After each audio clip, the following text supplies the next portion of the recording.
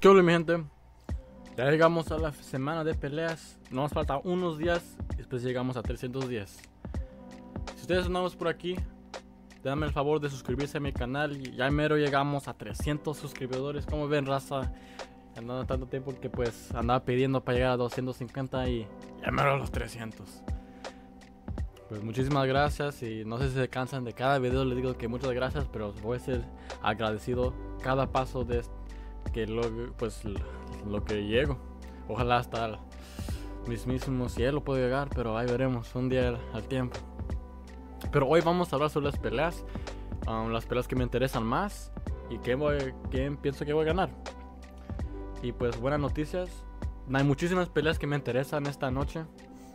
Um, más de como antes, como la única otra pelea que me gustaba tanto fue el de UC 300 y este así está buena, pero no tiene tantos nombres como ese, pero las peleas que están buenas, pues están buenas. Yo vamos a tomar un traguito a mi coquita y empecemos. Empecemos. Vamos a empezar con Clay Guida contra Chase Super.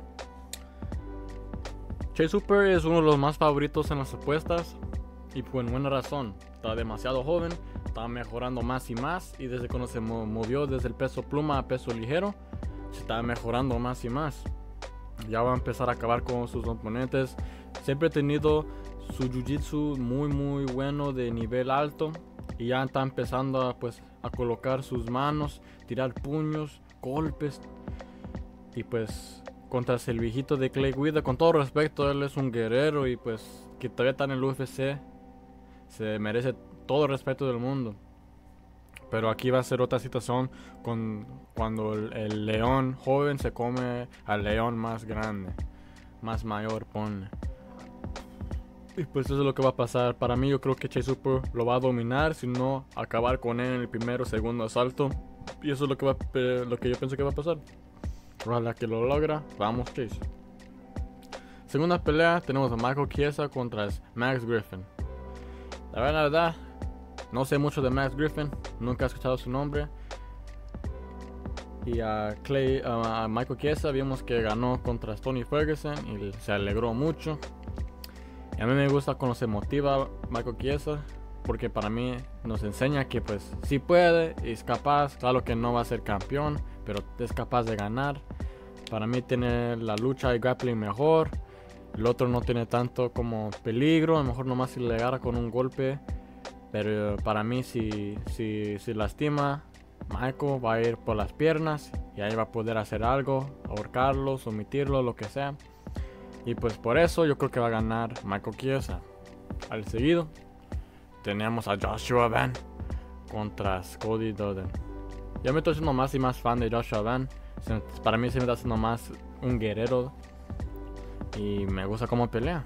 Vimos que cuando peleó con Edgar Chávez, que él va peleando y peleando y aunque lo lastimen, sigue peleando y hasta puede ganar.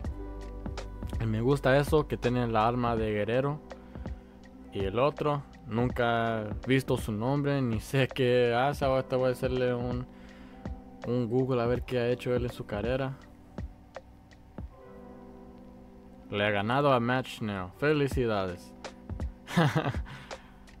Eso de Oh, no, camaradas. Este, este hombre no está bueno. Pongan sus apuestas en Joshua Ben. Este man sí va a ganar. Y eh, vamos a ver qué va a ganar. Seguido, tenemos a Eric Anders contra Chris Weidman. Y pues, yo creo que Chris Weidman va a ganar. Para mí, esa es una pelea perfecta para que se retire. Para que diga hasta luego, camaradas. Ya se acabó su carrera. Terminando su carrera, tuvo como nomás cosas malas, malas suertes, se quebró la pata, ¿sabe qué? Estaba perdiendo. Y después ganó a, ¿cómo se llama? A Bruno Silva, picándole los ojos. mucha gente se enojó con él. Yo creo que ese es el perfecto, perfecto momento para que se retire. Y para mí yo creo que va a ganar con sus iPods así, picándole los ojos para que no se acerque. Y pues pues no tengo mucho que decir. Esta, esta va a ser una pelea que nomás se pasa, se acaba. Pero yo creo que Chris Weidman va a ganar. Ha seguido esta pelea sí va a estar muy interesante. Randy Brown contra Brian Battle. una pelea pues los que saben saben los dos son muy muy buenos en el peso welter los dos van subiendo subiendo de los rankings yo creo que el que gane aquí se va a meter en los rankings si no va a tener una pelea para entrar a los rankings y quién cree que va a ganar para mí Ryan Battle se parece como Barack Obama si tuvo un niño güerito y para mí él tiene como más alma de guerrero que quiere ir atrás de él, a lastimarlo, a ganar, no nomás a ir a hacer decisión. Y Ryan, uh, ¿cómo se llama? Randy Brown, para mí es como un tipo como Leon Edwards, cuando no se gusta arriesgar mucho y pues si, se quebra, se quebra, ya no, ya no lo sigue más. Y por eso yo creo que pues Ryan Battle va a ganar. Y pero me gustaría hacer una guerra entre dos jóvenes queriendo avanzar en sus carreras. Y el que será mejor avanza, el otro se va patas al campo y em, ve el video a ver qué puede mejorar y regresa más fuerte. Así se trata este deporte, me encanta que es así. Y lo que sí sé seguro es que esta va a ser una buena pelea. A lo mejor un, un knockout, ahí veremos. Pero para mí yo creo que Brian Battle ganaría. La siguiente, Mozart Evlev contra Aljamain Sterling. Esta es otra pelea que es tremendo y muy interesante. Y más o menos ni sé cómo, no, no sé cómo a decir que va a ganar. Los dos son muy muy buenos. Su siguiente pelea en el peso pluma de Aljamain se ve muy bien contra Calvin Cater, lo dominó los tres asaltos pero también fue una pelea muy aburrida. Mucha gente dice que Mozart es aburrido. Um, pero también Mozart nunca, nunca ha perdido una pelea. Es invicto. Ah. Yo creo pues me lastima, me lastima un poco a decir, pero yo creo que Mozart va a ganar. Yo creo que es más joven, que tiene más poder. Su lucha va a ser mucho más mejor el de Aldo. Vimos que, que Aljo mm, no tuvo problemas con la lucha de Peter Yan a veces. Y yo creo que un Peter Yan más grande, con mejor lucha, mejor mm, no tan bueno striking, lo puede dar problemas. Y pues por eso creo que va a ganar. Pero ojalá que gane Aljo. Llegamos a Vicente Luque contra Tempo Cambombo. Básicamente voy a ir con Vicente Luque. Para mí es un peleador que siempre fue de alto nivel, nomás tuvo problemas con su cerebro, tuvo problemas, pues que ya se está haciendo viejito, ya está como acabando su carrera. Pero yo creo que todavía tiene suficiente para ganar este combate. Para mí, Gombo no, tuvo, no, me enseñó suficiente que sigue mejorando en sus peleas. Cuando peleó con Nico Price. Y no me gustó eso. Y um, no me acuerdo quién fue en la última pelea que. No sé que Joaquín Buckley, cuando peleó contra Joaquín uh, Vicente Luque, y ahí perdió bien feo. Pero Joaquín es bien explosivo. Um, y no creo que traiga tanto peligro que Rimbo. Y por eso yo creo que Vicente Luque va a ganar. A lo mejor, claro que va a ser decisión, no creo que vaya a acabar con él. Pero ahí veremos, nunca se sabe con Vicente. Uh, esta otra pelea que me interesa tanto. Um, tenemos a Anthony Smith contra Dominic Reyes. Para mí, siempre me ha gustado ver la carrera de Dominic Reyes. Medio triste cuando casi le ganó a, John Jones. Mucha gente dice que sí ganó a John Jones. Um, pero lo robaron. Después, desde esa pelea, perdió por knockout como cuatro, cuatro peleas seguidas. Medio triste. Pero al fin, este, este verano regresó. Él noqueó a alguien, Dustin Jacoby. Y ya está de regreso a subir de los Um, de los rankings otra vez. Y primero tiene que enfrentarse a Anthony Smith. Y para mí Anthony Smith ya tiene como 5 años que no está bueno. La única forma que pierdes es si tú eres un imbécil. es así de fácil. Yo creo que Dominic Reyes es más rápido, más fuerte. Yo creo que lo va a hacer retirar a Anthony Smith. Yo creo que lo va a pegar tan duro que ya no va a querer regresar nunca más. Y pues la mera verdad, lo único que puedo decir es que pues respecto a los huevos de, de Anthony Smith por querer seguir peleando contra peleadores que él sabe que no va a poder ganar. Pero respecto amigo, pero no creo que va a ganar. Dominic Reyes, knockout, primer asalto. Pónganle sus apuestas. Oh, seguido tenemos a Nate Train, baby. Contra Dooku Choi. Dooku Choi fue un peleador bien entretenido hace unos años, pero sé que ya en Corea cuando llegas a los años 20 se me hace algo así, 24, lo que no me acuerdo exactamente, pero llegas un año y tienes que irte a, pelear en las guerras o pues inscribirte en la milicia, ¿sabe qué? Pues tienes que entregar unos años de tu vida a ser soldado y pues por eso se fue este y ya regresó. Um, pero fuimos lo mismo con el Korean Zombie, que él hizo lo mismo y regresó. Y también estaba bueno, pero no tan bueno. Y pues Nate Train, él le dijo, man, este, este camarada le gusta tirar como que si no tiene nada más. Y pues para mí me gusta más la personalidad de Nate Train y yo creo que él va a ganar. Pero también esta pelea, como me voy a sorprender si no es una guerra que todos estamos aparados en los pies viendo y no sabe, queriendo ver más y más. Y pues claro, si gana Nate Train va a ser, su entrevista va a estar pues bien, bien chistosa y me, me gustaría ver. Ahí voy a estar en vivo. Nate Train, baby. Bryce Mitchell, Arkansas. Ahí tienen sus chores de camo contra Crown Gracie. Un sabe qué de, de los Gracies. Ahí es parte de la familia. Nunca fue tan bueno. Vimos la última vez que peleó fue en mayo y no hizo absolutamente nada. Y yo creo que pues no lo ponieron aquí por su nombre. Pero no sé cuánta gente le importa estos días. Y también tenemos a Bryce Mitchell que pues gente le gusta más y más pues por, por su actitud. Um, como pelea. Y yo creo que él va a ganar. Tiene mejor boxeo. Hasta le estaba dando problemas a Ile Taporia. El campeón Claro que perdió, pero no.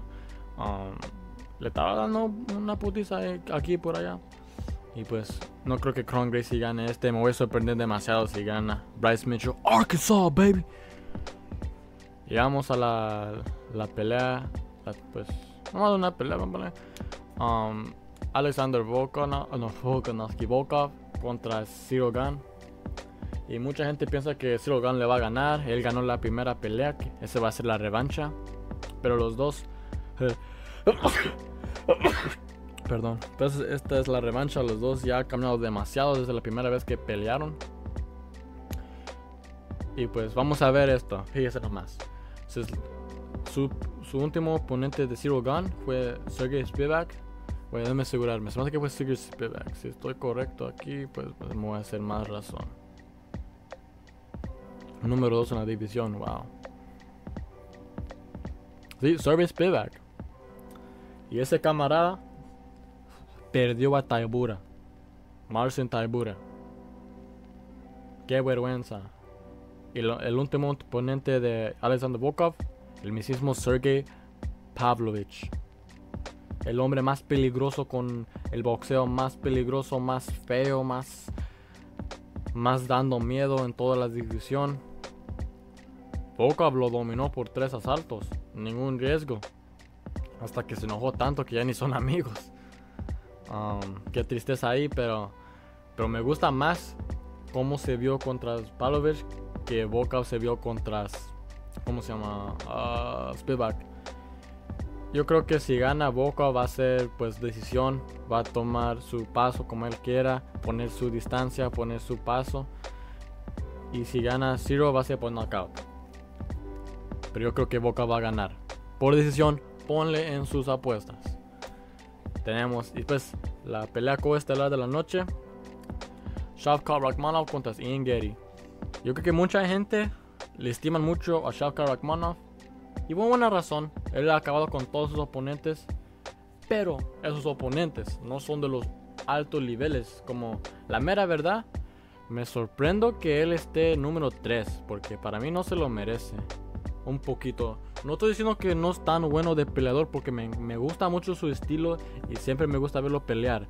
Pero para mí no se merece ese puesto porque para llegar a ese puesto le ganó a Magni, Neil y a Thompson. Los que ya están casi en los que top 15 ni los dos top 10, a lo mejor los top 10. Para mí, un, lugar más mejor para Shavka será como 5.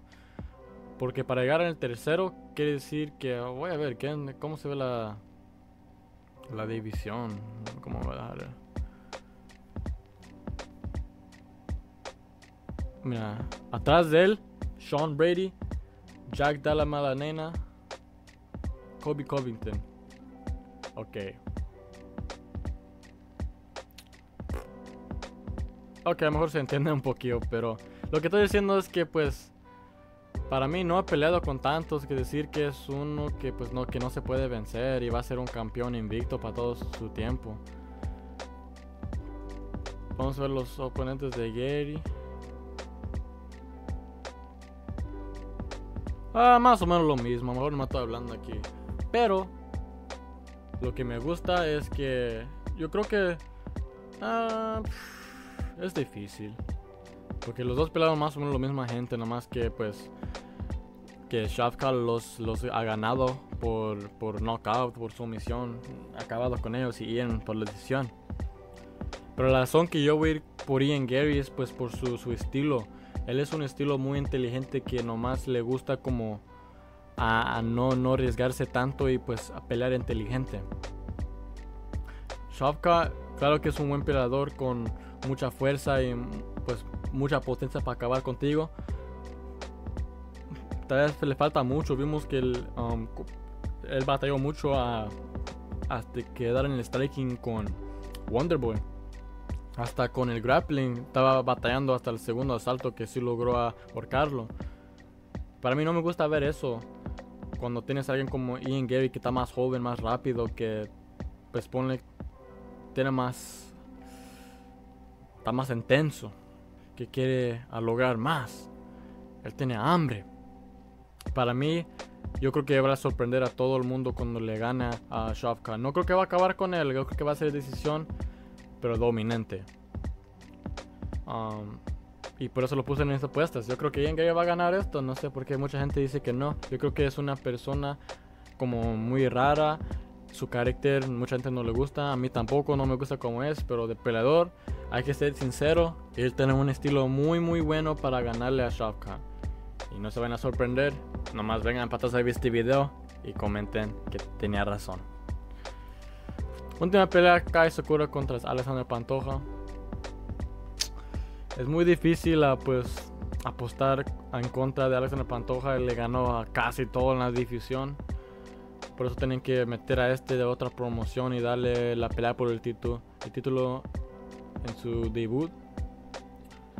Pero, pero la verdad me gustan las chances de Asakura. Él va entrenando con Marab en su lucha, en sus derribos, a cómo pues hacer la defensa y subirse en sus pies otra vez. Para mí eso es lo que necesita porque cuando están en el kickbox, yo creo que cuando están parados, él va a poder lastimar a Pantoja de cualquier manera. Y pues la mera verdad, yo siento que él va a poder noquear a Pantoja. Una locura, yo sé, pero hay que hacer locuras y arriesgarse para hacer dinero. Si ustedes vieron mi video de las apuestas, yo tengo que va a ganar a Sakura. Aquí también lo voy a decir. Yo creo que um, Pantoja ya está más o menos um, poniéndose más o menos allá en la edad que ya se va pues no va a estar tan rápido, no tan potente. Y también muchos lo ha pegado en la nuca y ya ha sufrido demasiado. Y pues claro que no lo, nunca lo han noqueado, nada así. Pero todos tienen su tiempo. Ya vimos con Max Holloway. Él también, pues, según nadie lo iba a noquear y, le topó ya ¡pam! Eh, aquí vamos a ver lo mismo. Ojalá que sí. Pero la misma. me, me gustaría así decir eso para que pegue mi apuesta y me haga mucho dinero. Pero tampoco me voy a sorprender si gana Pantoja por la lucha, nomás ahí teniéndolo en el piso es lo que más probable va a pasar. Y pues por eso yo aquí voy a tener la, más fe que gane a Sakura. Pero también veo que lo puede hacer. Un gancho, una rodilla, ahí veremos. Pero yo voy con Asakura. Si ustedes les gustaron mis, pues, mis apuestas, mi, como mis predicciones, quién empezó a ganar, ahí díganme en los comentarios. Soy Ángel de MMA y nos vemos en la próxima. Chao.